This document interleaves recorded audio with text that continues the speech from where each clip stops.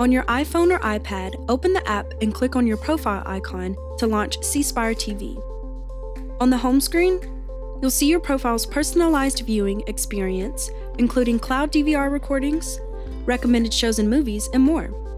Here, you'll navigate using the icons at the bottom of the screen on your phone or tablet.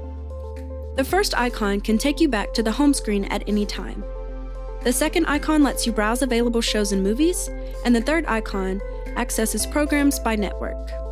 Choose a network, and the program currently airing will appear. Click to watch the programming already in progress or slide the progress bar back to restart from the beginning while it's airing. You can also choose to watch previously aired episodes on demand. With the Replay TV feature, you can watch other programming up to 72 hours after it airs. Use the search feature indicated by the magnifying glass icon to find a show or movie by title. Then, available entries will appear in the listing below. Keep in mind, each device watching C Spire TV on your account, whether at home or away from home, counts as one screen.